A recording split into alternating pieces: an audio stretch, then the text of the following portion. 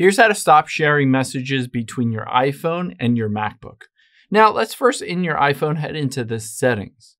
And at the very top, let's tap on your name here. And now we're just going to scroll down and find iCloud and tap on that.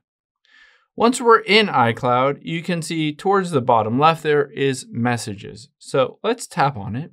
And most likely use this iPhone will be turned on, indicating that all of the text messages from this iPhone are being stored in your iCloud.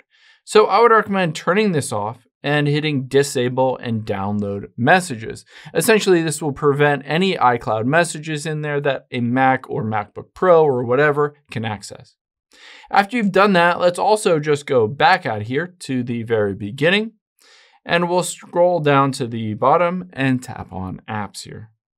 From here, again, we'll scroll down until we find messages and tap on messages. You need to make sure text message forwarding is not turned on. So let's scroll down and you can see here text message forwarding. Just tap on that and if it does say that you're sharing or forwarding those text messages to your Mac or MacBook Pro, then obviously just tap on that and disable it. Turn off the ability for that MacBook Pro to receive any of the text messages that originally sent to your phone. I hope this helps. If it did, hit the subscribe button down below. Really helps me out. Thanks, guys.